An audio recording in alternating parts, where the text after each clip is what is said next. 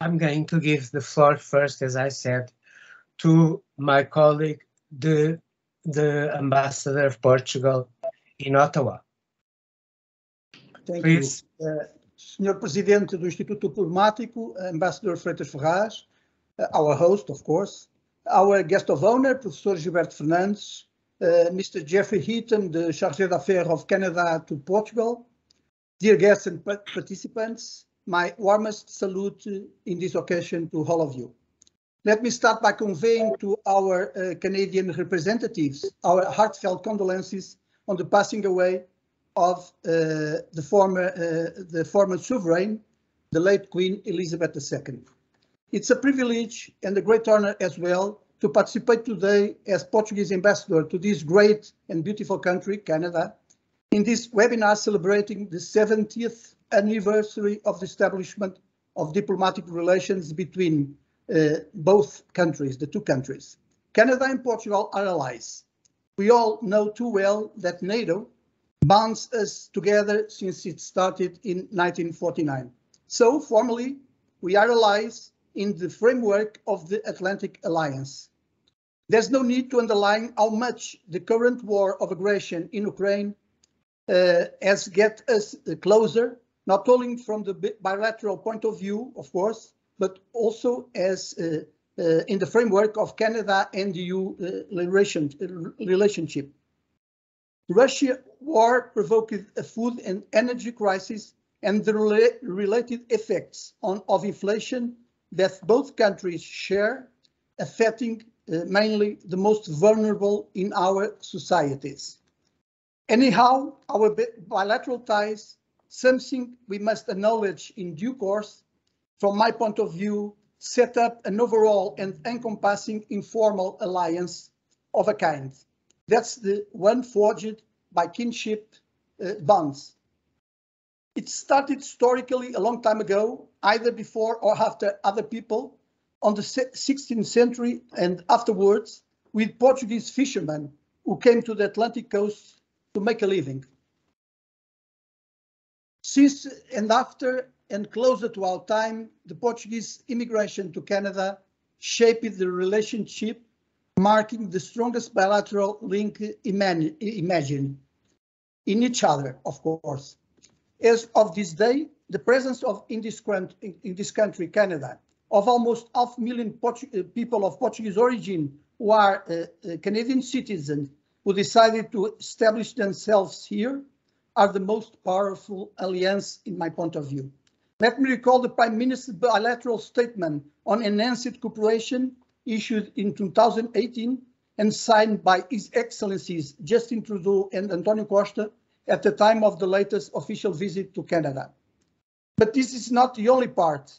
The core of our bilateral relations spreads from political and diplomatic formal links encompassed in our consultations processes, paying visits to each other, high-level meetings, our shared common international goals, our vision of the world and the way international relations should be based, and so on.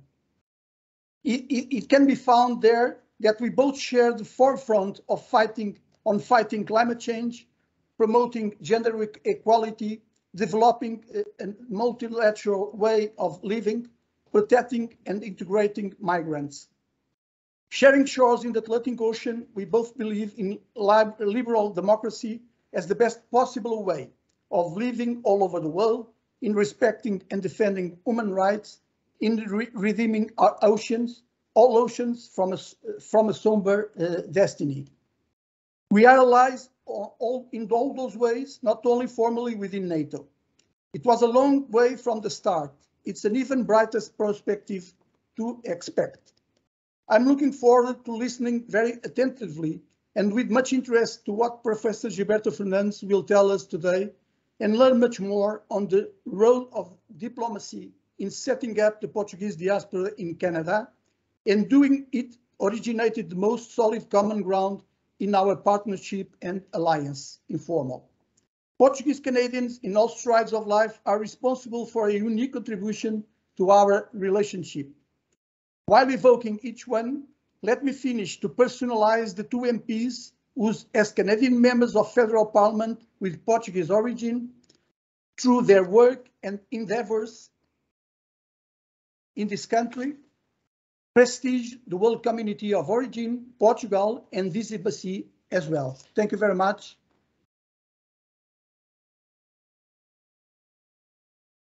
Thank you very much, Ambassador. And now I'll give the floor to Mr. Jeffrey Heaton, please. Thank you, Ambassador Freitas Ferraz, uh, for Thank the introduction, and, and thank you to Ambassador uh, Leão Rocha for that excellent overview of our historical relationship and also our uh, dynamic, multifaceted cooperation that's evolved into today. Um, I'm very delighted to be participating in today's event on behalf of the Embassy of Canada to Portugal. And I first wanted to recognize the initiative of Ambassador Freitas Ferraz and the Diplomatic Institute in organizing today's event, which is part of our ongoing joint celebrations of this year's 70th anniversary of Canada-Portugal diplomatic relations. So thank, thank you very much.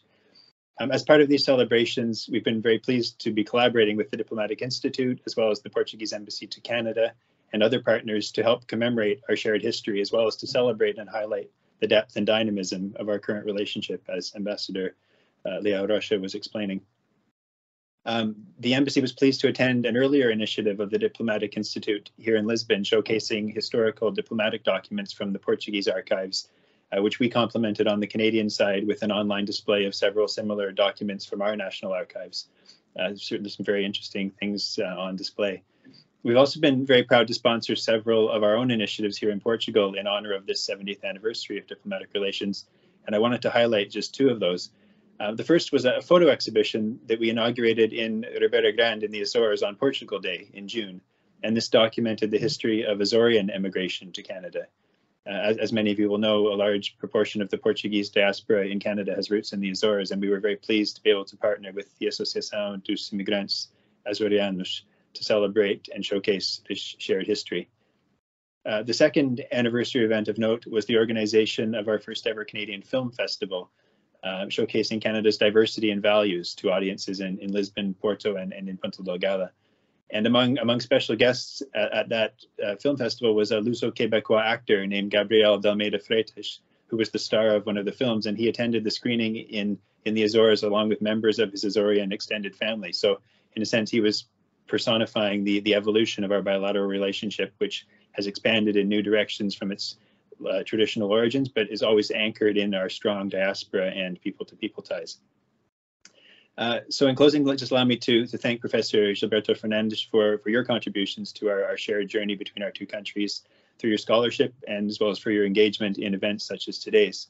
Uh, we're very grateful to you as well as to many others in attendance today from the Portuguese community in Canada as well as the Canadian community here in Portugal uh, for your efforts to, mo- to promote our bilateral friendship and to create new collaborations and opportunities for the future.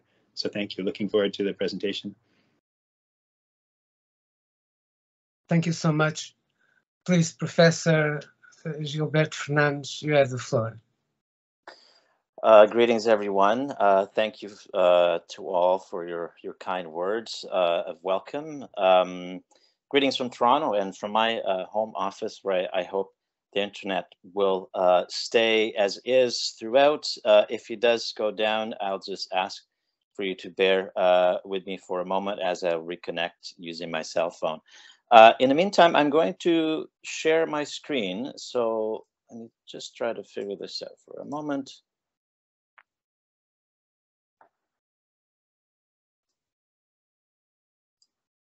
I have some slides. I believe you can see that. Um, I can't, uh, so now I can't see uh, anyone. So uh, I'll just have a, an audio confirmation that you can see it. Someone confirm they can see my slides? Yes. Yes. Yes. yes Wonderful. Thank you.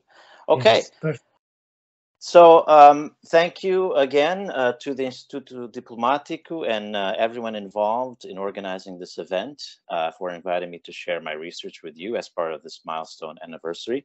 Uh, it's a real honor uh, to present to such a distinguished audience uh, and institution. My presentation will be in English, Mas, se me quiserem colocar questões em português, um, no final da apresentação, terei todo o gosto em responder da mesma forma. My talk today draws from the research that I started during my doctoral studies at York University in Toronto, where I'm currently a visiting professor, which later led to my book, This Pilgrim Nation. In that book, I discussed the transnational history of Portuguese communities in, in Canada and the United States and the role played by the Estado Novo dictatorship in the creation of a diasporic consciousness and institutions against the backdrop of the Cold War, the American Civil Rights Movement, the Portuguese colonial wars, and Canadian multiculturalism. While not solely about the Portuguese Foreign Service, the work of the regime's diplomats in North America uh, between the 50s and 70s is a big part of this study, and uh, it's the part that I will discuss in my talk today.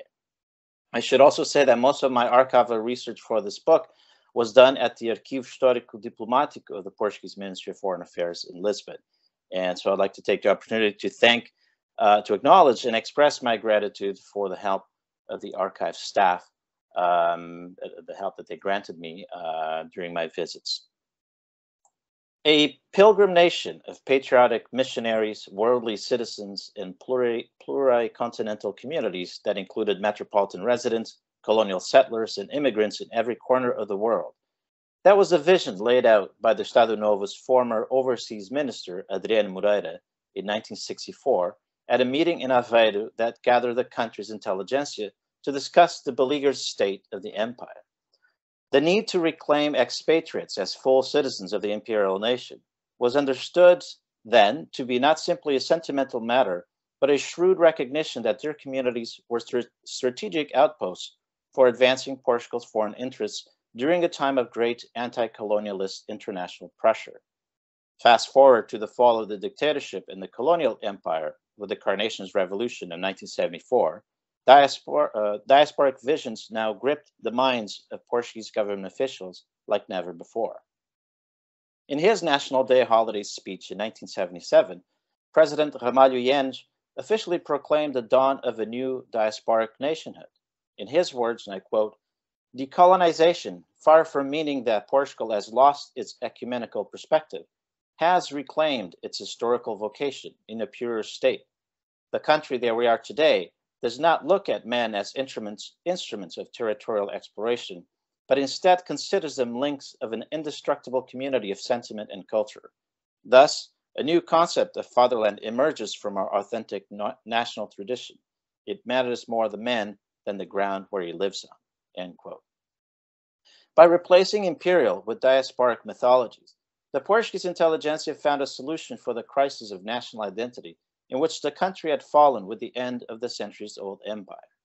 This repositioning allowed the Lisbon government to cling to the old pluricontinental idea of nationhood and maintain, maintain some of its former geopolitical relevance beyond the small corner in Europe's periphery, which it refused to be restricted to. Once mocked by Portuguese elites, immigrants were now elevated to heroic status as the flag bearers of the nation's borderless, entrepreneurial, and cosmopolitan spirit often compared to the explorers of Portugal's golden age of seafaring history. They were encouraged to think of themselves as transnational citizens living in a diaspora that the homeland government vowed to nourish and facilitate. Most immigrants welcomed this institutional outreach and saw it as a positive step towards redressing the supposed negligence that they had been subjected to during the dictatorship and as due recognition for their ongoing contributions to their homeland. Still, this diaspora building project stood on a foundation that was previously laid by the imperial dictatorship's diplomatic corps and other international minded sectors of the regime, and, and was in large part built on recycled discourses and methods. Diplomats have been part of this history from the very start of the Portuguese mass migration to Canada. It was largely thanks to the insistence of the Canadian consul in Lisbon, Lester Glass, that the two governments agreed to a labor migration agreement that started with a small pilot group of skilled male workers in 1952. When this official movement ended in 1961, over 6,800 male workers had been requested. The vast majority was were destined for unskilled occupations in farms, railway track building, logging, and other toiling jobs shunned by Canadians. A significant minority of these supposed low skilled workers were in, fact, were in fact tradesmen and small business owners who pretended to be common laborers in order to meet the selection criteria of migration officials. Together with the 800 skilled workers recruited during this agreement and others sponsored by their kin, these relatively higher educated migrants would assume leadership positions in the Portuguese communities that emerged in Toronto, Montreal, and other smaller settlements across Canada. Before settling in the cities, many of these migrant workers had a common experience of isolation, exploitation, and hardship in the Canadian hinterland, resulting in large part from the lack of English or French language skills, but also from the prejudicial views about Southern European immigrants held by many of their employers. Migrant farmhands, especially, made several complaints to Portuguese officials about their living and working conditions. The consuls tried to appease these migrants by occasionally visiting them shifting them between farms and speaking to their employers, ultimately trying to manage Canadian perceptions about the quality of Portuguese workers. As was common among other nationalities, the number of Portuguese migrant workers breaking their one year, one year contracts to look for better jobs elsewhere was high. Despite the efforts of government officials on both sides, the number of contract skippers increased exponentially with each new migrant cohort arriving in Canada every year. Ottawa tolerated this high absconding rate of migrant farmhands since they filled important labor shortages in the cities. This only became a problem when it coincided with periods of high unemployment. Reacting to one such period and to the rise of anti Southern European sentiment among Anglo Canadians, Ottawa decided to end this migration agreement in 1961 and move to limit the entrance of unskilled migrants into Canada. By that point, a critical mass of Portuguese immigrants had already settled in Canada and was able to sustain a large migration chain autonomously from international schemes. The end of the labor migration agreement coincided with the outbreak of the colonial wars in Africa, which introduced a major incentive for military aged men and families with young boys to leave Portugal in order to escape the mandatory military draft. Changes in the Canadian immigration system in 1967 that privileged highly skilled applicants raised a significant barrier to Portuguese mass migration, which owed its existence to Canada's high demand for low skilled workers. Still, their numbers continue to grow, not only via family sponsorship, but also through extensive clandestine channels that developed alongside the official channels. One common way for undocumented migrants to settle in Canada was to pass as tourists, overstay their visas, and later apply for landed status. They often did this with the help of illegal migration rackets run by travel agents. And in one case, in 1957, the Portuguese consular, uh, Portuguese consular staff in Montreal were implicated in one such racket, which resulted in many immigrant hopefuls in the Azores being defrauded of significant sums of money. Most immigrant families were able to improve their economic situation after some time in Canada, thanks to a great deal of sacrifice and hard work but their relative economic success often came at heavy cost, heavy to their mental and physical health and led to severe strains on the family structure. Seasonal unemployment, workplace injuries and fatalities in dangerous jobs, domestic violence, high rates of school dropout, and youth criminality were some of the most common social problems encountered in Portuguese households in the cities. Eager to address these problems was an army of Canadian social workers and settlement agencies most of them associated with Protestant churches. But before the immigrants started using the settlement services of Canadian organizations, their first access to social aid in Canada came from the consulates. For instance, in the mid uh, 1950s, the vice consul in Montreal, Father Manuel Almeida, took multiple tri- trips to meet isolated migrant farmhands across Quebec who requested his help in resolving disputes with employers, connecting with fellow countrymen, finding employment, or simply uplifting their spirits. Father Almeida gave close to 3,000 Canadian dollars out of his own pocket to help these men. In 1955, his successor, Consul Vital Gomes, alerted Lisbon to the overwhelming number of aid requests received from immigrants across the province and how his office had helped them find employment and obtain free medical assistance. Regrettably, Gomes had not been able to satisfy requests for money or avail them of the most basic food, clothing, and housing needs, given that consular regulations only allow these in cases of repatriation. The consular staff also assisted newcomers at Montreal's airport on a regular basis without additional pay, sometimes late into the night. Concern about the well being of these early migrant workers, many of whom sent most of their earnings to their families back home and placed themselves in difficult financial situations in Canada, the Ministry of Portuguese, uh, the Portuguese Ministry of Foreign Affairs paid uh, about $100 uh, monthly into an emergency aid fund to be dispersed by the consulates to immigrants in distress. Fearing the denationalization of its immigrant flock through assimilation into Protestant or Irish or French Catholic denominations, Portuguese government and ecclesiastical authorities saw the need to send missionaries to Canada.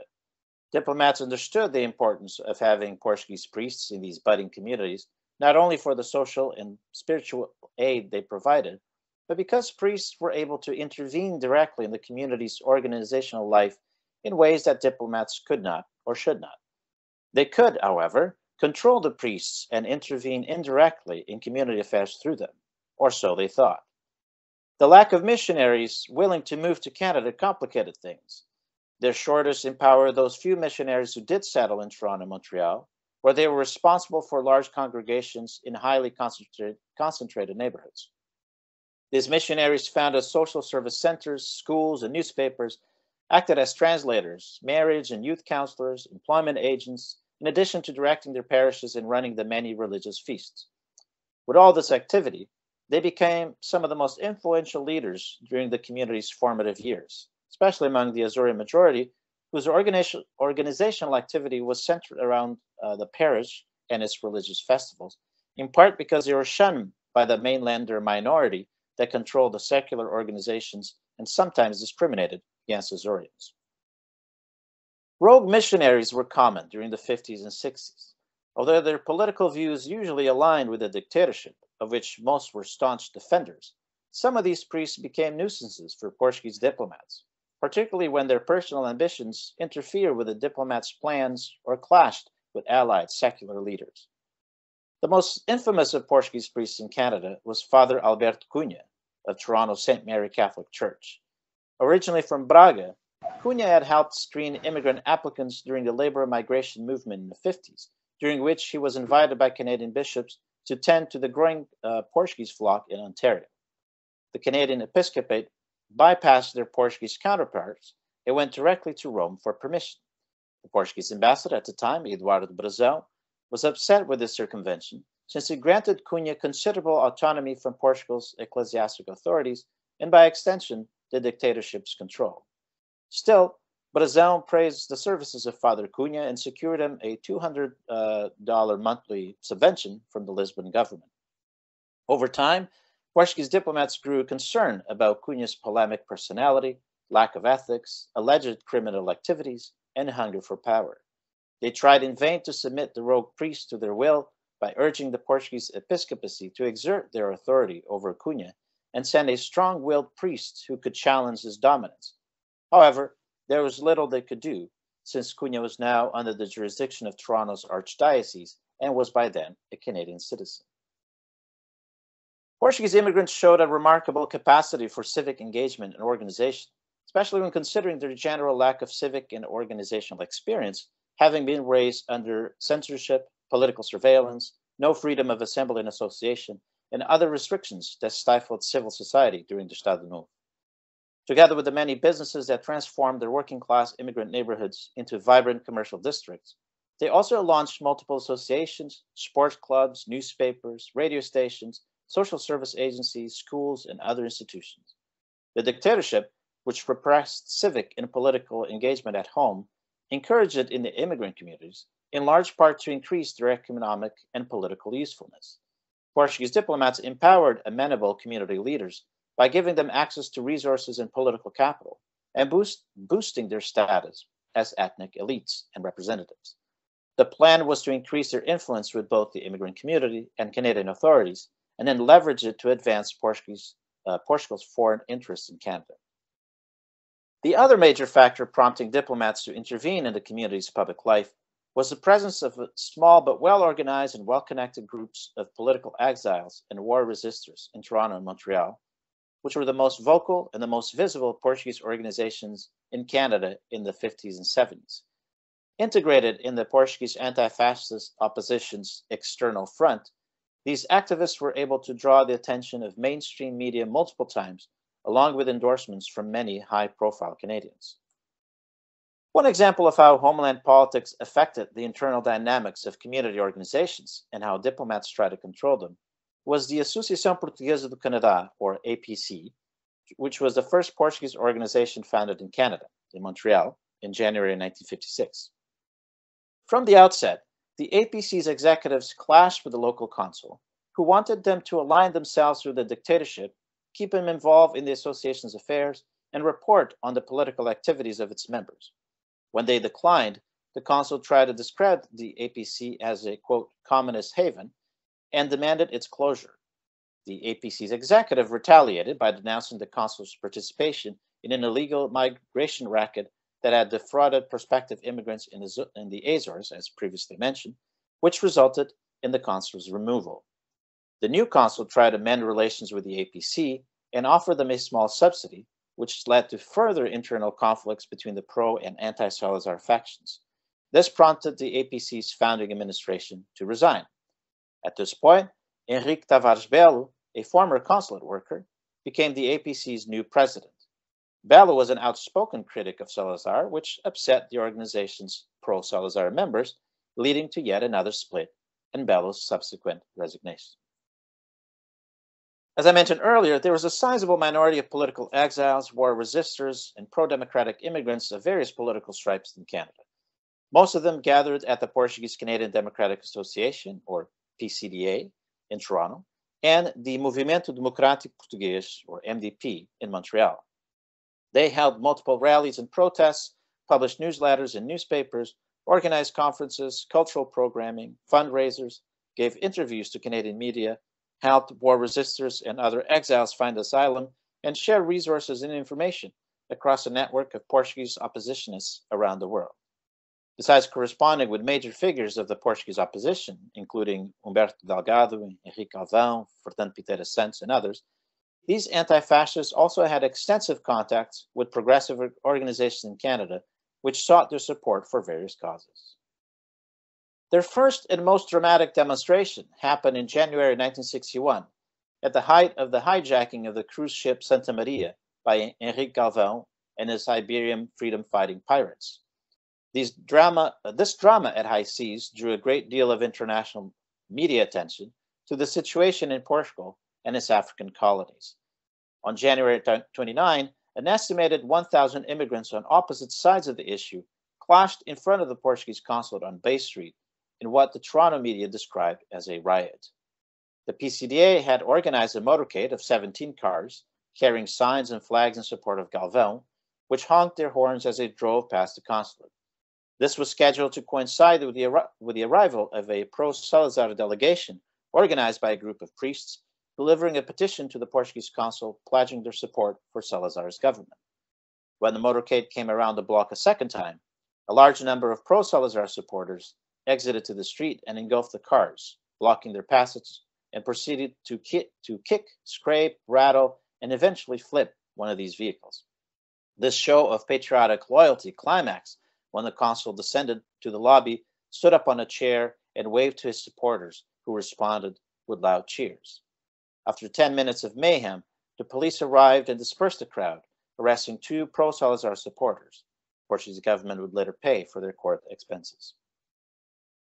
After the Galvão saga, the Portuguese government put more resources into the diaspora communities in North America and launched a large public diplomacy, lobbying, and propaganda campaign in an effort to shape public opinion, especially in the United States. Lisbon abandoned its previous laissez faire approach to Portuguese Canadian media and took measures to control it. That meant creating community newspapers that could counter the Montreal based Luso Canadiano, the first Portuguese newspaper founded in Canada, and the main anti Salazar outlet in that country, which was also widely circulated in the opposition's international circuits. The Luso Canadiano was founded by Tavares Belo as the official organ of the APC. When he left that organization, Belo took the newspaper with him and associated with the MDP, which he founded in 1961. At this point, the Portuguese embassy helped launch a rival newspaper in Montreal, the Voz Portugal, which still exists today, whose main objective was to disseminate the dictatorship's message in the Portuguese community and counter the Luso Canadiano, including with rumors and libel, for which the Voz Portugal's director would later be found guilty in court. Fear of, intu- of infiltration by PIDE and its informants was prevalent and played a critical role in ensuring that most Portuguese immigrants remained politically passive. While mostly based on rumors, fear of political surveillance in Canada was justified. It was common for PIDE to act on intelligence received from diplomats, civilian informers, and Canadian intelligence services, which sometimes led to arrests of political immigrants returning home. For instance, the 29-year-old immigrant Eurico Nunes, a communist militant, was arrested in July 1970 when crossing the border into northern Portugal. In Canada, he was an executive member of the PCDA, a leading student activist at Ryerson College in Toronto, a translator at the Toronto airport, and a freelance journalist for the Luso Canadiano and CBC Radio. Despite having no legal obligation to intervene, given that Nunes was not a Canadian citizen, Canadian diplomats agreed that they had a moral obligation to seek his release, since his arrest resulted from legal activities done in Canada. During his time in prison, Nunes was subjected to PIDE's infamous torture techniques, uh, what one Canadian officer considered low-key interrogation. He was let go four days after his arrest and allowed to return to Canada thanks to the appeals to high-ranking government officials made by his American wife. When he returned to Toronto, Nunes told Canadian officials that several landed immigrants visiting Portugal had been arrested and released on condition that they become PIDE informants in Canada. Canadian officials deported many undocumented Portuguese migrants escaping military draft. The PCDA and MDP interceded on behalf of war resistors and exiles seeking political asylum and warned them about the violent reprisals these men would face if repatriated. In Montreal, the Portuguese consul turned to the Voz newspaper and the mainstream uh, francophone newspaper La Presse to characterize the MDP as uh, agitators and the asylum seekers they helped as bogus refugees. Working with information provided by the, the consul, Canadian authorities raided Montreal's Portuguese community in 1961 in search of undocumented migrants. The MDP wrote a letter to the Federal Minister of Immigration protesting the arrest of one of its members and the constant threats and insults hurled at them by the Voz and the Portuguese consul, whom they tried to declare, whom they tried to have declare persona non grata. Portuguese diplomats in North America made multiple efforts at uniting the many fragmented community associations and clubs under large umbrella organizations and presenting this immigrant group as a cohesive constituency in the eyes of Canadian institutions and politicians who increasingly welcomed these spokesperson organizations since it suited their top-down approach to communicating with ethnic groups in the emerging multicultural polity. The first such organization was the Portuguese Canadian Congress, founded in Toronto, in September 1969. Curiously, the initiative to form the Congress came from the community's left wing, following the high profile mur murder of a young Portuguese immigrant by a Toronto police detective and a subsequent demonstration protesting police violence against immigrants. Its founding president, Domingos Costa Gomes, was a known militant of the Portuguese Communist Party who had fled persecution in Portugal and, and uh, was also a leading member of the PCDA and MDP. Nonetheless, the Portuguese consul endorsed this organization and hosted its inaugural meeting, which was attended by the conservative faction led by Father Cunha. However, peace between the two sides only lasted three months until the conservatives splintered from the Congress and created their own short-lived federation. In the late 1960s, Portuguese diplomats also started seeing Portugal Day as an opportunity to unite all immigrants around their shared cultural heritage and work towards that elusive political unity. The first large Portugal Day celebration was organized in 1966 by then recently arrived Father Cunha. The following year coincided coinciding with Canada's centennial commemorations and the 50th anniversary of Fatima apparitions, Cunha arranged another momentous celebration that included a large parade in Toronto's downtown and an open-air mass where about 10,000 people were said to be in attendance. In 1968, the Ontario government recognized Cunha's efforts by officially proclaiming the week of June 10 as Portuguese Week. The following year, the mayor of Toronto invited the Portuguese Canadian Congress to organize the city's Portugal Day festivities. By then, the Congress was led by Fernando Costa, an organizer for the governing Progressive Conservative Party of Ontario. Costa tried to include the consul and, and Father Cunha in the festivities program, but did it in an undemocratic and secretive manner so to avoid being voted down by the leftist majority in the Congress executive. Internal conflict ensued once Costa's plans were revealed, which eventually led to the organization's implosion. Meanwhile, Father Cunha and his allies moved ahead with their own program as they had done in previous years. Uh, this time, however, the PCDA was not ready to see yet another official endorsement of the Estado Novo go unchallenged and held a demonstration during the flag raising event at City Hall while the consul performed his ceremonial duties. Portuguese diplomats followed the development of Canadian multiculturalism with interest, carefully considering how it could help them nurture the immigrants' ties to their homeland. They particularly appreciated the folklorist type of multiculturalism of the 60s and 70s, since it fit with the Estado Novo's propagandistic uses of folk culture. Nurturing the immigrants' cultural connections with the homeland and celebrating their quaint ethnicity brought economic benefits to the Portuguese government since it promoted a vision of Portugal that corresponded with the regime's tourism marketing and cultural exports. In 1962, after seeing a performance by a Rancho Folklórico in Montreal, the local consul reported to Lisbon that the group had made a good impression, despite not having authentic Rancho garments or a knowledgeable choreographer.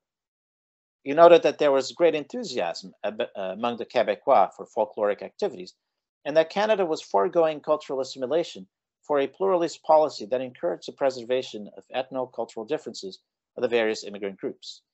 Considering this, he saw an urgent need for Lisbon to provide aid to these ranchos so that they could better represent Portuguese traditions. In this case, a tradition largely invented by the Estado Novo's propaganda to disseminate its conservative ruralist values and market Portuguese tourism. In 1964, Toronto's Rancho de Nazaré, the first rancho uh, founded in North America, won first prize in a local festival showcasing folk dances from around the world. In attendance was Prime Minister Lester B. Pearson, who presented the victors with the award. The local council was impressed with the size of the event, which included 40 representations from the city's largest ethnic groups. He also noted that the Portuguese Rancho had received no subsidy from Lisbon, unlike other national groups, which had been aided by their own homeland governments. The number of ranchos across Canada multiplied in the 60s, but despite the diplomats' repeated appeals, the Portuguese government failed to provide consistent aid to the immigrants' folk cultural initiatives. Although willing to advocate for the local ranchos, most diplomats held a deep-seated deep disdain for the immigrants' unsophisticated cultural expressions, stemming from their uncomfortable relation as members of Portugal's social elite with the peasant and working class traditions of the immigrants they represented. Some diplomats expressed their displeasure with the fact that Portugal was commonly perceived in Canada as a backward country stuck in antiquated traditions and resented being associated with the unflattering rural imagery projected by their own government. For example, in 1958, the consul in Montreal complained to Lisbon about a Disney documentary screening, uh, a Disney documentary screening in that city that focused exclusively on Portugal's rural life. The scene that most irritated him showed the grape harvest in the Douro region, which culminated in the traditional pressing of the grapes by a dozen of barefoot men with their pants rolled up to their knees stomping the fruit to the sound of an accordion. The consul was unaware whether this was still a common practice, which it was, and it still is in some parts, but knew that such spectacle was unpleasant. He added, and I quote, people will think twice before drinking another cup of port, of port wine. But the chief mission of the Estado Novo's foreign service and its diplomatic, uh, sorry, and its public diplomacy was to defend the empire in the face of growing anti-colonialist consensus at the international stage, in which Canada was one of the only NATO countries to speak openly against Salazar and the colonial wars. At every opportunity, when Portuguese diplomats were invited to give public speeches, references to Portugal's glorious seafaring past, its contributions to expanding Western Christian civilization, and the Luso-tropicalist myths of a supposedly benign and racially harmonious empire were uttered. In Canada, this type of leveraging of Portugal's seafaring heritage for political gain was centered around the travels of the Corte Real family and their presumed discovery of Newfoundland and Labrador. The first efforts to celebrate the dubious legacy of the Corte Real brothers were made by Ambassador Eduardo Brazão. An accomplished diplomat, Brazão was an historian who published various works on the history of Portuguese maritime explorations, including the Portuguese discoveries in the histories of Canada which was written during his tenure in Ottawa. In 1963, Brazão visited St. John's, Newfoundland, for his first official trip in Canada. The main purpose of this visit was to discuss international fishing jurisdiction over coastal waters following Canada's intention to expand its territorial waters from, from 3 to 12 miles, which would affect Portugal's rights to fish along its Atlantic coast. The Newfoundland government received Brazão with extraordinary honors, which included a reception at the St. John's House of Assembly during a parliamentary session, where he sat beside the House Speaker. This was the first time an ambassador was given such honor. At the St. John's Rotary Club uh, uh, later that day, after Brazão delivered a lecture about the supposed discovery of Canada by the Portuguese, the ambassador announced that his government had commissioned a pair of statues of the Corte Real brothers as a gift to the people of Newfoundland. Premier Joseph Smallwood promptly promised to place them in front of the new legislative building in St. John's, surround them with Portuguese soil, and proclaimed an annual Portugal Day in the province.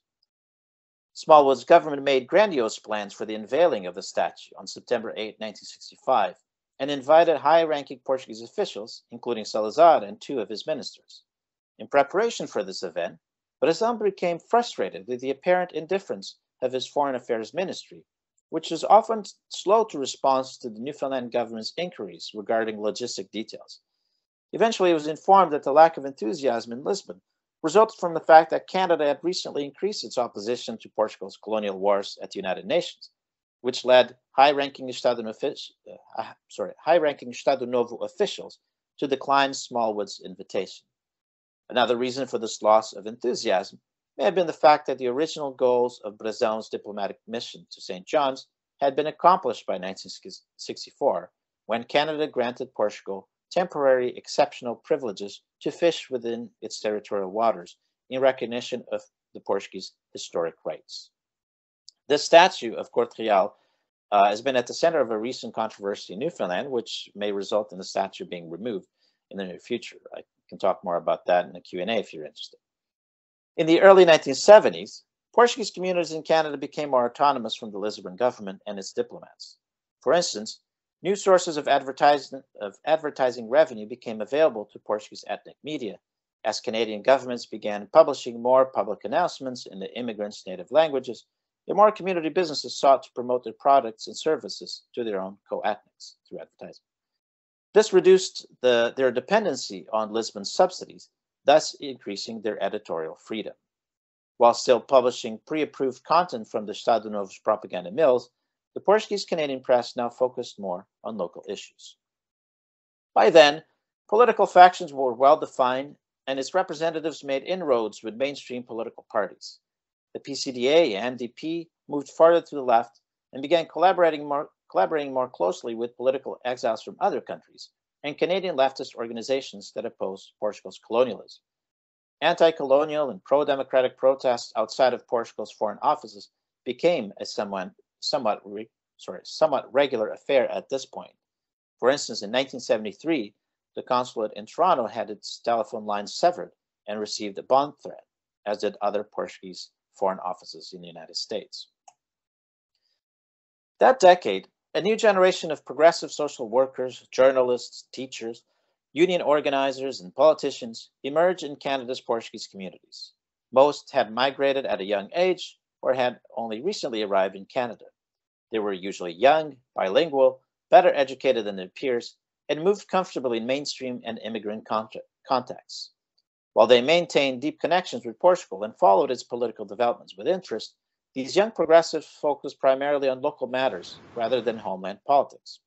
They founded social service agencies, newspapers, radio stations, and other organizations separate from the older conservative leaders and distanced themselves from the Estado Novo's diplomats, not only because they were opposed to the regime, but also because they were better prepared than their predecessors to find resources and political capital from Canadian governments and other sources in mainstream, mainstream civil society. This made the Portuguese diplomats nervous. For example, in Montreal, a group of young progressive Catholics founded the social service agency Centro Português de Referência e Promoção Social at the city's Portuguese parish, the Santa Cruz Mission where these community organizers originally met. After securing core funding from the federal government, the center moved out of the parish into their own location, which also uh, meant that they moved away from the supervision of Father Frederico Fatela, a leading conservative leader in Montreal's Portuguese community and supporter of the dictatorship. One of the center's founding committee mem members was the communist Rui Cunha Viana, who was then the president of the MDP and director of the Luso Canadiano. This convergence of older and newer progressive forces prompted the Portuguese ambassador to request that Lisbon elevate the Montreal consulate to a higher diplomatic class so that they could hire more staff to deal with the growing threat of a, unite, of a united opposition. News of the Estado Novo's fall on April 25, 1974, were initially greeted with hope and euphoria by most immigrants. But in the turbulent revolutionary transition period that followed, Portuguese expatriates grew apprehensive about their kin and property in the homeland as they watched tensions between opposing factions escalate into near civil war. The intense political atmosphere of the interim revolutionary period that lasted until April 1976 was felt in Toronto and Montreal, where there were multiple rallies, protests, fundraisers by pro and counter revolutionaries, including the supporters of the Azorean Liberation Front and Antonio Spinola's so called silent majority. Visits by interim government delegations, major political figures, and revolutionary artists and, and singers were common during this period. One Portuguese delegation, which included the revolutionary leader Salgueiro Maia and then Secretary of Immigration Pedro Coelho, met with Canadian federal government officials to discuss, to discuss a new migration agreement that could ease the employment and housing crisis in Portugal resulting from the return of former immigrants, demobilized soldiers, and colonial settlers. The Canadians declined, alleging that the legislation did not allow for special immigration provisions for individual countries, which was not entirely true. These visits were very eye-opening for Portuguese officials. For instance, during his trip to Ottawa in June 1974, where he attended a NATO summit, the future Prime Minister Mário Soares, then Minister of Foreign Affairs, had the opportunity to interact with Portuguese diplomats as a guest of honor at a community dinner attended by 500 people. Upon returning to Lisbon, he described this event to a national newspaper as one of the most instructive parts of his trip, since he was able to hear about the immigrants' experiences, problems, and expectations directly from their mouths. One of the demands he heard repeatedly was for his ministry to purge the Estado Novo's diplomats in Canada and replace them with pro-revolutionary ones. This was a top this was a top priority for former political exiles. The Portuguese Democratic, uh, the Portuguese Democratic Action Congress of North America founded in Montreal in 1973, sent a delegation to Lisbon a few days after the revolution to meet with the Provisional Revolutionary Junta and communicate their expectations, which included, quote, liberating the expatriate communities from, quote, fascist diplomats. The PCDA even planned to occupy the Toronto consulate should the interim revolutionary government fail to replace the previous consul. They also urged Lisbon to stop subsidizing or organizations run by the so-called fascist leaders. The most notorious of these was Father Alberto Cunha, who now spread anti-communist misinformation about the situation in Portugal through his own radio and TV shows. To counter his message, which connected primarily with the Azorean majority, the PCDA bought ad space in the Globe and Mail and published a statement of support for the MFA, which was signed by a long list of Portuguese immigrants and illustrious Canadian allies. This prompted a response from the right-wing faction, which organized a march in Toronto's Kensington Market, which is Canada's most densely populated Portuguese neighborhood, where about 200 uh, demonstrators chanted death to communists and threatened to set fire to the PCDA's office. The newly appointed consuls urged community members to seek information from reliable sources, such as the bulletin circulated by the consulates. Father Cunha's impact was such that when the interim prime minister in, interim Prime Minister Vasco Gonçalves met with Prime Minister Pierre Elliott Trudeau for the first time in June 1974, the first item raised by Gonçalves were the actions of the conservative priest, whose alleged criminal activities the Portuguese Prime Minister asked his counterpart to investigate. Trudeau must have found this especially troubling, considering that just a few weeks earlier he had walked along, alongside Father Cunha during Toronto's Santo Cristo procession which drew about 90,000 people that year. The new diplomatic corps in Canada vowed never to subject their expatriate citizens to the same neglect that they had suffered under the dictatorship. According to the new consul in Toronto, Ernesto Feu, the dictatorship had regarded immigrants simply as a source of remittances. By contrast, he proposed to turn his office into a social service agency dedicated to integrating Portuguese uh, expats into Canadian society and sponsor an institute dedicated to solving the legal, educational, health, and employment problems. Portuguese immigrants now had the chance to address their demands directly to their state secretaries and members of parliament in Lisbon, who were more receptive than the Estado Novo's officials. But while post-revolutionary governments like to contrast their progressive diasporic commitments against the dictatorship's neglect and unreliability, they eventually pointed to a familiar constraint. There's little money. Remittances grew to record, sorry, remittances grew to record heights after 1975, despite the sharp drop in immigration. Besides cementing relations between the diaspora and the homeland, this increase bolstered the immigrants' leverage when making demands of the Lisbon government, which was happy to offer them incentives to invest or deposit their savings in Portugal. Asked by a leftist Portuguese Canadian newspaper if the Portuguese government was continuing a Salazar Caetano type of policy, where immigration was effectively stimulated for the sake of boosting remittances, the State Secretary of Immigration, João Lima, answered categorically that he was not, yet acknowledged that, quote, at first glance, both policies might appear to be similar, end quote. Portugal Day parades and surrounding festivities also grew in size after the revolution and were attended by a greater number of Canadian dignitaries, including prime ministers and premiers. An estimated 80,000 people attended the 1977 festivities in Toronto, where they enjoyed performances from homeland and local Portuguese artists, including uh, amateur fado singers like Consul Ernesto Fio. The next year, Portugal Day celebrations were dedicated to commemorating the 25th anniversary of Portuguese mass migration to Canada. In Toronto's High Park, ethnic leaders erected a monument to their community in the form of a padrão, alluding to Portugal's imperial history.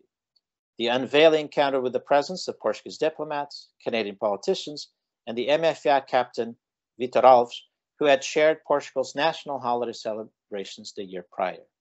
As in the past, Canadian officials at these events extolled the imperial heritage of the Portuguese of Portuguese Canadians and traced direct links between the seafaring explorers and the immigrants who made good citizens anywhere they settled. Whereas Portuguese officials continued to urge their expatriate citizens to unite and flex their political muscle.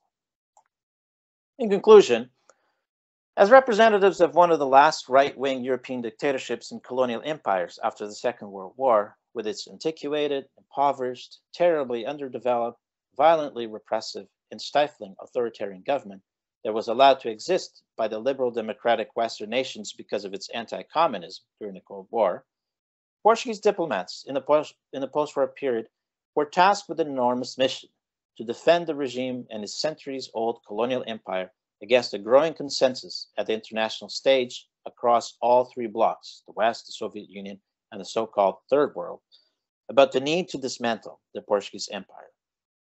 How does a small peripheral government with few material resources assert itself as a significant geopolitical force in an era of rising global governance when rival superpowers threaten the sovereignty of nation states and colonial empires?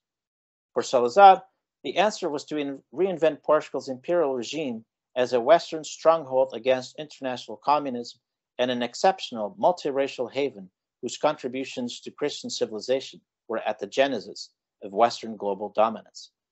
When this imperial fantasy began to crumble in the face of the anti-colonialist winds of history, the regime's propaganda continued to push its Luso-tropicalist fiction while drafting the nation's youth to kill and die in unfamiliar overseas provinces, as they were called at the time. Meanwhile, a parallel offspring version of pluricontinental nationhood gained traction in those ministries engaged in foreign affairs, one that envisioned the unification of all Portuguese expatriates and descendants under one large diaspora loyal to the homeland. Eventually, the Estado Novo's sovereignty by force strategy led to its own demise, along with the empire that legitimized Portugal's claim to being a large country. Hovering above its debris remained the deterritorialized version of nationhood, where being Portuguese meant sharing in a national heritage that celebrated itinerancy and hybridity. The dictatorship's diplomats were the first to see the political and economic potential of articulating the somewhat loose collective of Portuguese transnational communities into one diaspora with its own networks, institutions, resources, which the Lisbon government might be able to leverage to advance its foreign interests.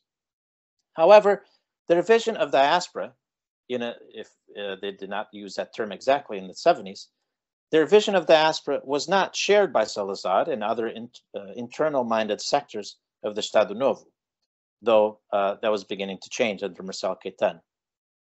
The Estado Novo's diplomats recruited, manipulated, and sometimes coerced immigrant leaders and their institutions to do the homeland government's bidding in direct contravention of non-interventionist diplomatic conventions. At the same time, diplomats were not mere ex uh, executors of the Estado Novo's foreign policy. In fact, much of their organizational efforts had little resonance in Lisbon and were inhibited by their superiors' lack of support or vision, especially before the mid-60s. Some diplomats were genuinely did some diplomats were genuinely dedicated to the communities they served, undertook tasks that went beyond their expected duties, and took matters into their own hands when they failed to obtain a timely or satisfactory response from Lisbon. Most diplomats admire the immigrants' efforts to preserve their cultural and linguistic heritage and occasionally rebuke their own government for not reciprocating.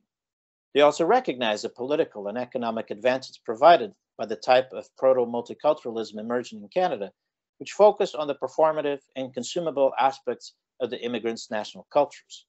This was fertile, fertile ground for the Estado Novo's propaganda and for the diplomats' efforts to unite and leverage the immigrant communities, nurture their national identity, and increase tourism and trade. But despite delivering the Estado Novo's ruralist propaganda, diplomats were embarrassed by the peasant character of ethnic performances and found it at times inappropriate for modern North American audiences. They also tended to have a more liberal worldview than their internal peers in the Portuguese government given their cosmopolitan education and prolonged residence in modern liberal democratic nations going through tremendous economic development, as was the case in Canada.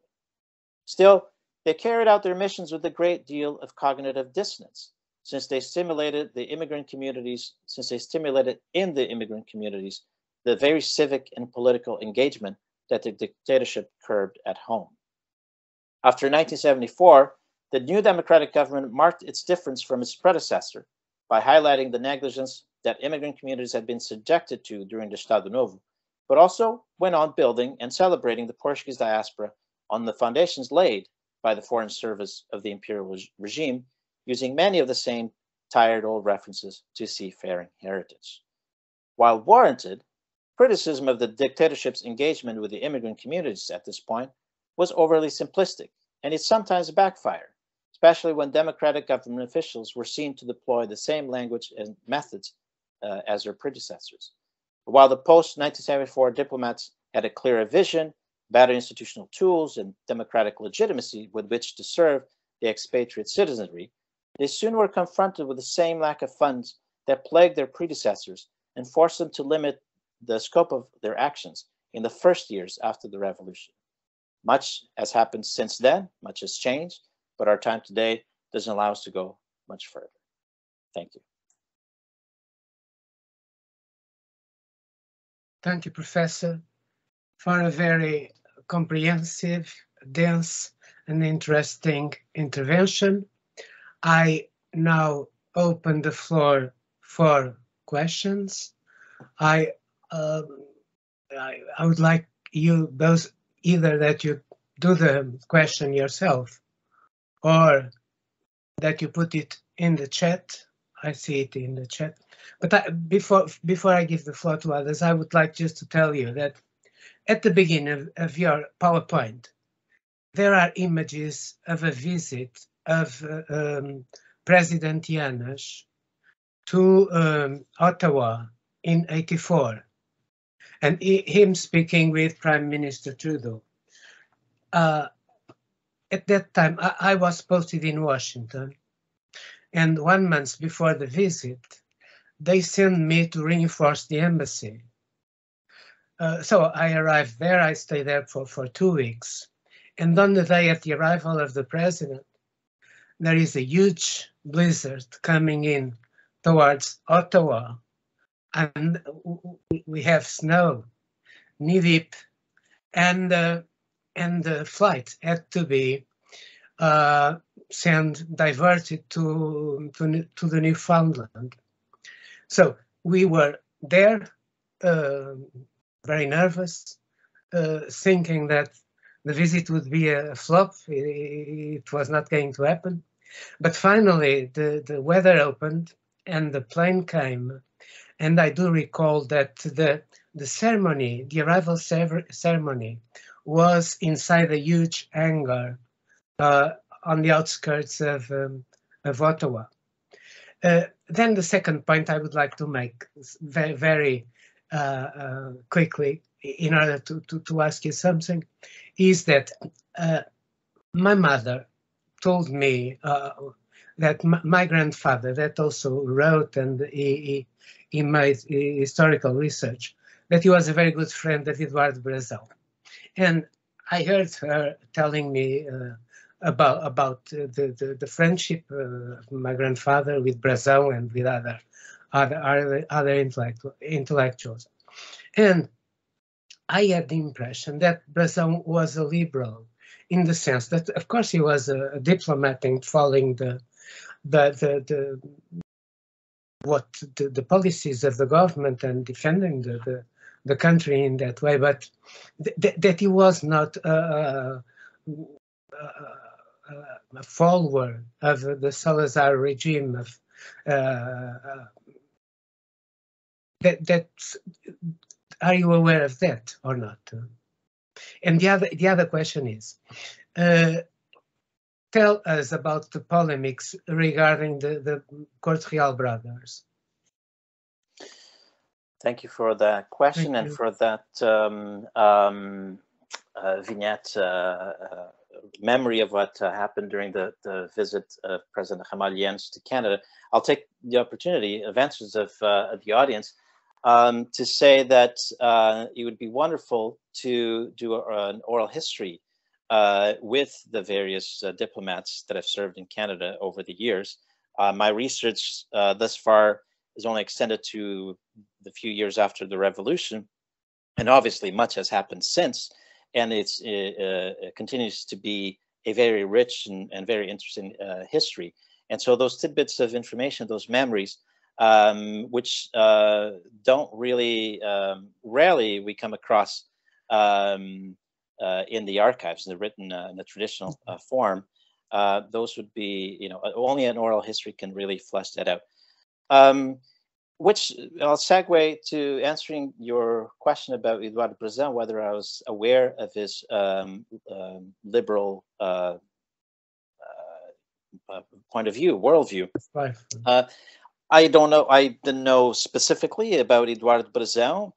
Uh, again, the um, the archives that uh, I've consulted, these are the archives of the Ministry of Foreign Affairs uh, and, and many others. But as far as uh, the communications from the diplomats. And of course, in those communications, that sort of information would not be uh, expressed, obviously, sure. under while yeah. serving Chladnov.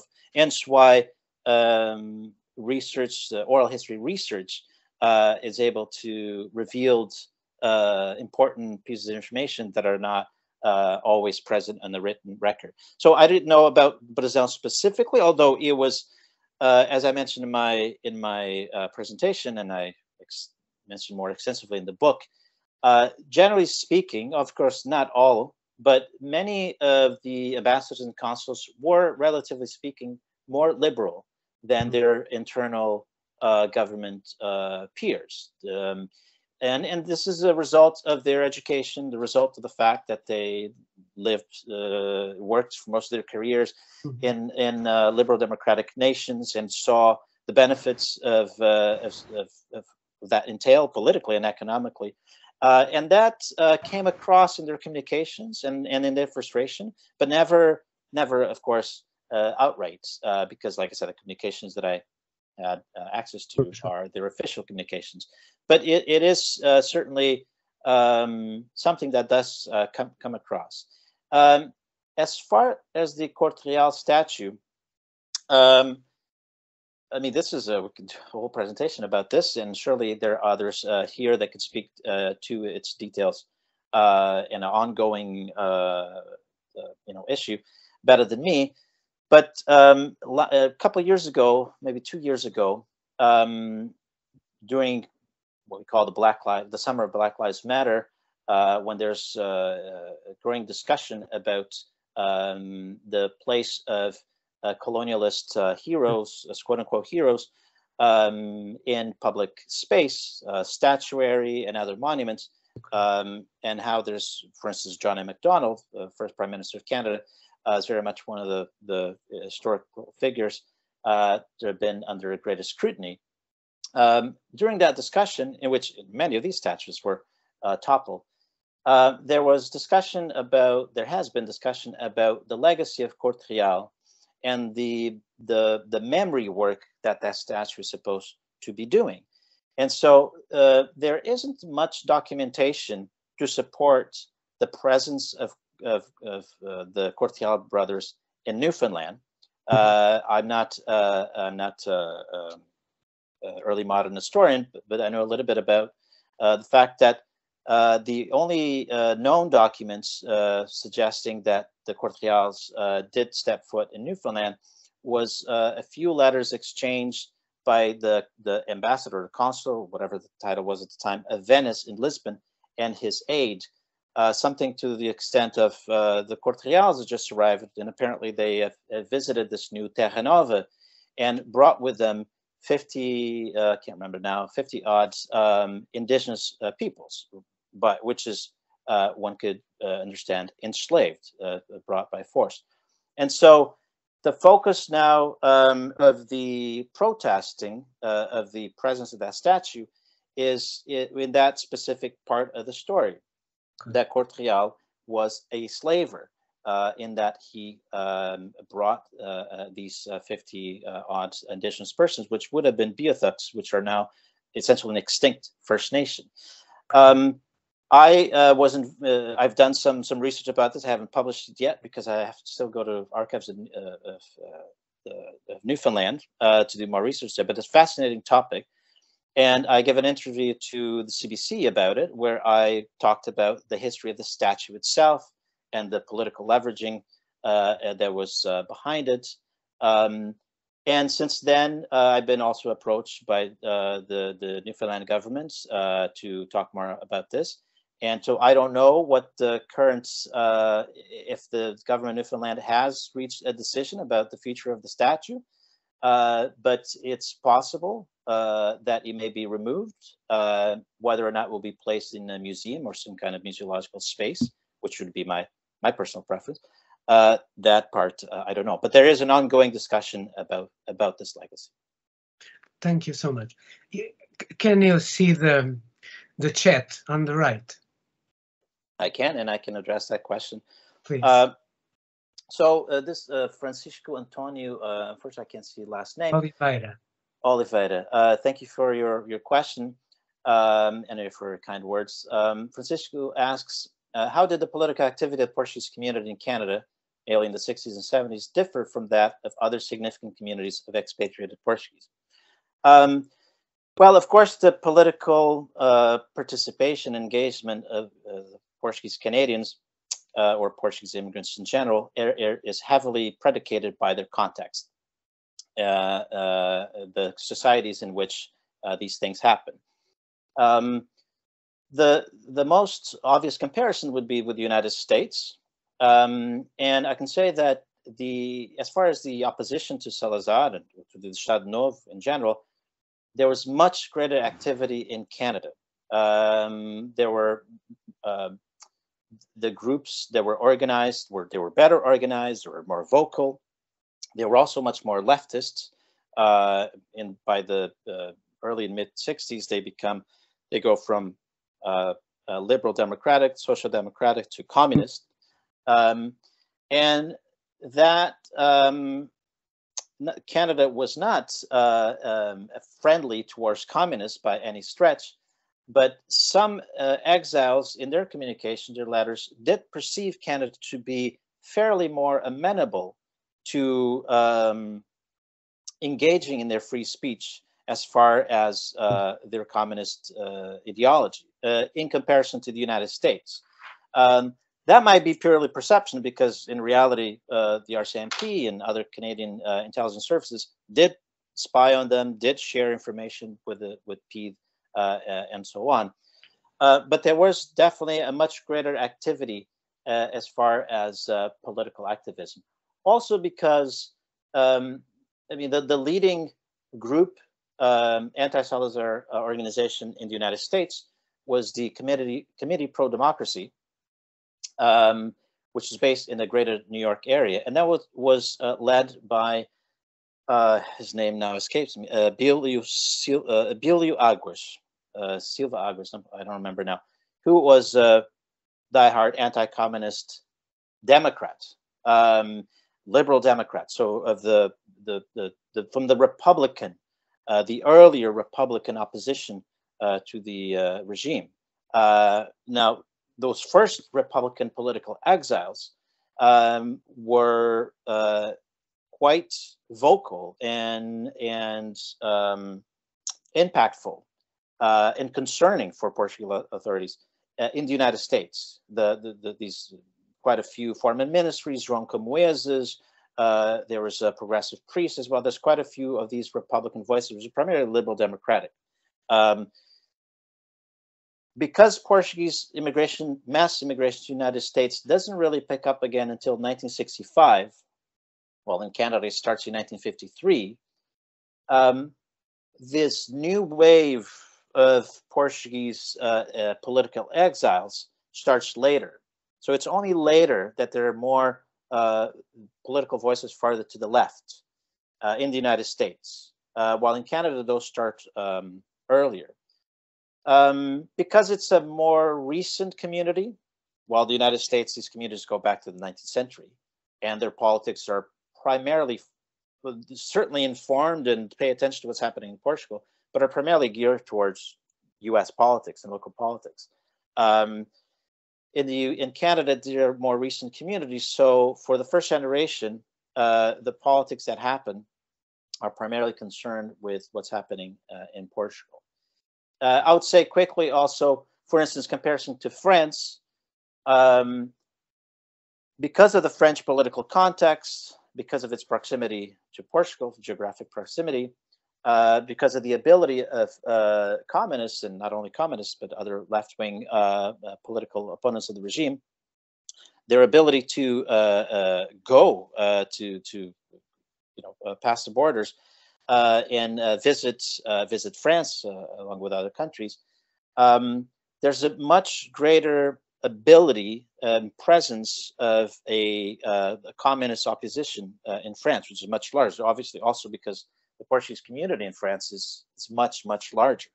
I don't know today, but Paris, I often say that Paris is the third largest uh, Portuguese city in the world, as far as Portuguese citizens, uh, residents go. Um, and so in that, in that context, um, there were uh, uh leftist politics in, in that community, which much were much more present. I hope I answered your question. Thank you so much. There is another question that one in Portuguese from Joaquim Negrais de Matos.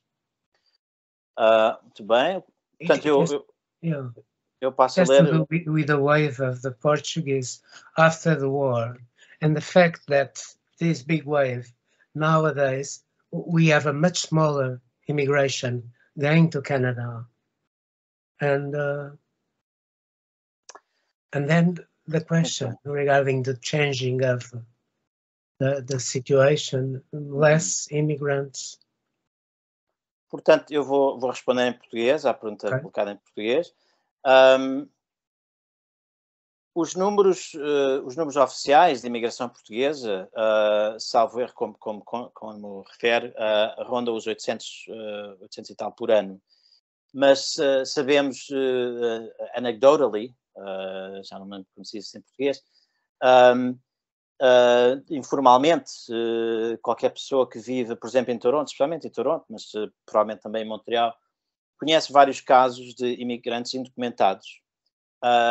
muitos deles trabalham na construção, na indústria de construção, que se, a indústria de construção tem perennialmente um, um, uma necessidade muito grande de trabalhadores, de operários manuais e de tradesmen.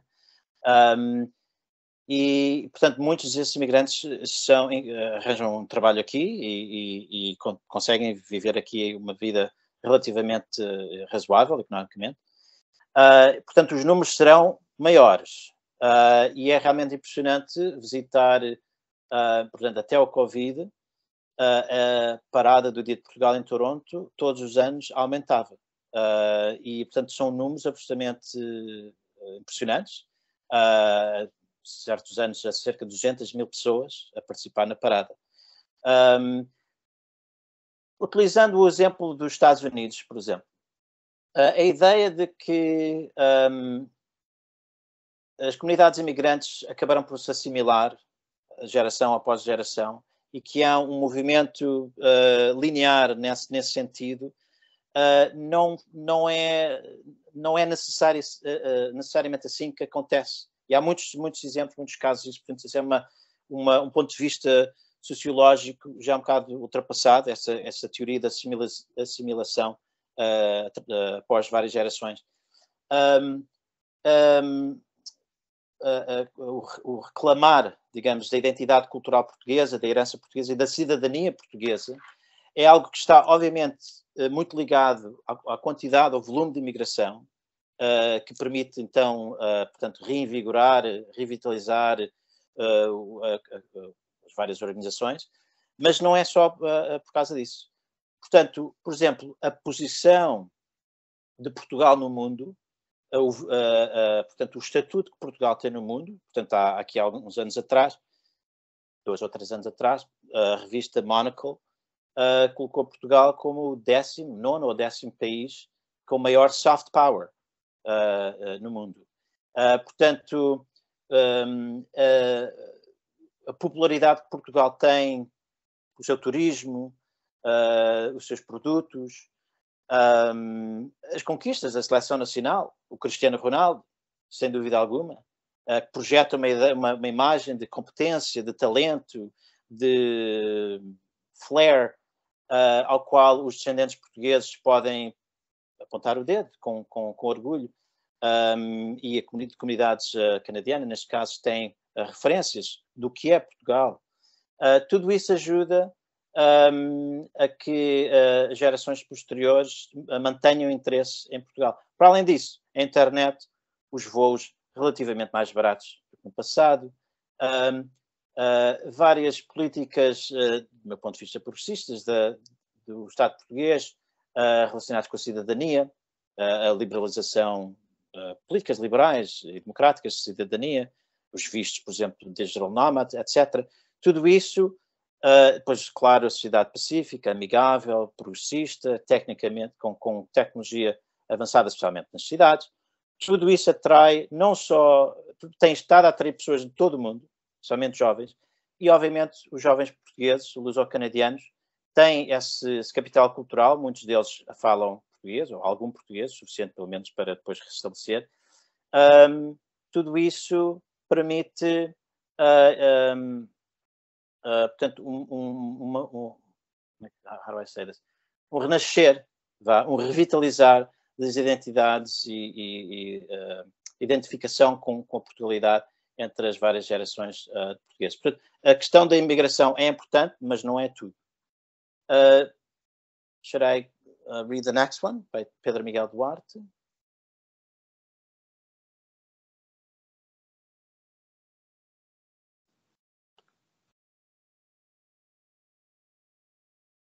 So uh, Pedro Miguel Duarte asks, what would be, very briefly, the main differences between our immigration waves from the 1960s to the current ones?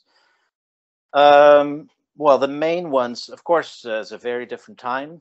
Um, Portugal was uh, under dictatorship, of course. Colonial wars were ongoing. That was a major factor uh, pushing Portuguese immigrants to leave. Um, Canadian economy was in uh, great uh, uh, expansion, uh, the economic boom in the Greater Toronto area, in Montreal and, and other places, which actually had a lot of pull factors economically um, for more immigrants to come, including including undocumented migrants. Many of them would even those who were, were deported, many of them would return or were granted were granted amnesty uh, by, for instance, Trudeau uh, and others. Um, and of course, Portugal was a very, very different place. Um, the push factors were much different, economically speaking. Uh, while certainly there's hardship uh, in some uh, places in Portugal, in some sectors of society, uh, was definitely even more so during the austerity years, uh, where we saw uh, another peak in immigration, a peak similar as far as numbers goes to the immigration we saw in the 60s. But compared to the miserable, the miserable um, economic uh, prospects facing Portuguese immigrants in, in the 60s, especially in the Azores, uh, were much, much greater. Of course, there was no welfare state and no, no other um, uh, uh government support, um, along with a lack of industry, education, so on and so forth. Uh, today, um, I mean, my study, my research has focused primarily as a historian has focused primarily on on this post-war period. So I have I have not done extensive research about current uh, recent immigration. Uh, I am an immigrant myself. I've been in Canada for 17 years now. So I, I am both Portuguese and Canadian citizen. Um, but uh, so I, from from my knowledge, my anecdotal knowledge, but also just from from reading and keeping abreast of, of this topic, um, there's still a significant number of uh, uh, migrant workers, um, skilled and, and, unskilled, and those would be uh, surely the the majority. But there's a greater number of highly qualified, um, you know, educated uh, Portuguese immigrants, professionals, um, who um, have now arriving when they arrive in Canada. They have now uh, a wide range of uh, supports uh, from the Canadian Mainstream Society, but also from Portuguese, the very uh, very uh, strong and and, and uh, full of vitality uh, Portuguese communities. Uh, it, it, it is it, it it dumbfounds me actually. It's amazing to me, for instance, the amount of uh, news outlets in Portuguese Canadian you know communities in Toronto, Montreal. Just a number of newspapers, the magazines, the radio station, TV shows. It's really amazing. So uh, there's other institutions of support. There's various individuals in positions of, of influence with various kinds of capital, uh, which um, are able to uh, to help uh, and make resources available to, to these newcomers. So we have a lot, the last question that in a sense you already you already focused, I think you did mention. It's from Beatriz Marquilhas and uh,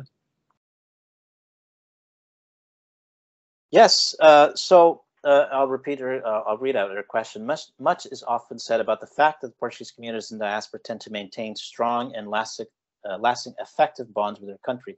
From your perspective, is there a historical reason explaining this? Um,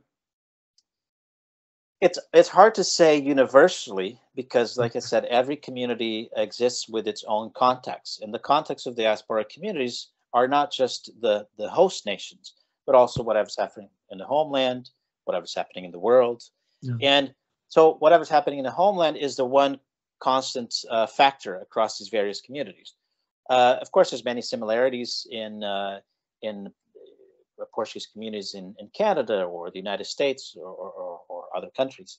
Um, but uh, as I said earlier, I think, well, there, there's major reasons.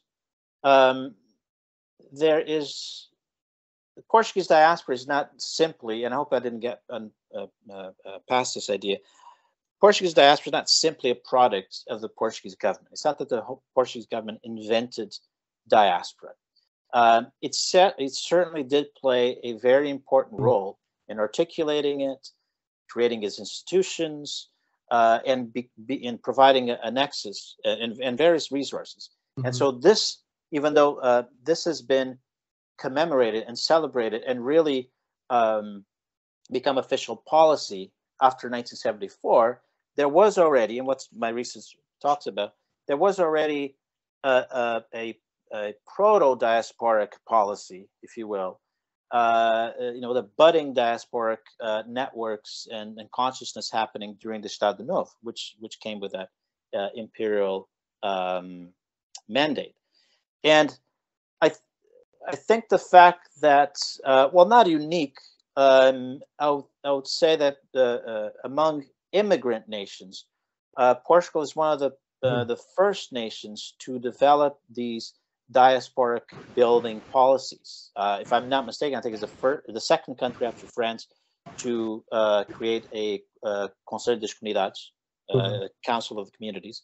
Uh, one of the first, not not the first, but one of the first uh, handful of countries or a dozen countries or so to extend external vote to to its expatriated, expatriated citizens. So there's all manner of resources, political and economic, um, that encourage uh, this connection.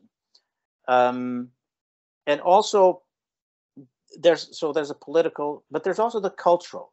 There's the narrative of Portuguese identity, what it means to be Portuguese, and um, while uh, while I am personally uh, what's what I'm looking for critical of the mm-hmm. continued mm-hmm. usage of imperial heritage to extol the virtues of Portuguese immigrants today, because it's highly problematic considering, well, obviously the colonialist uh, history of, of our mm-hmm. country.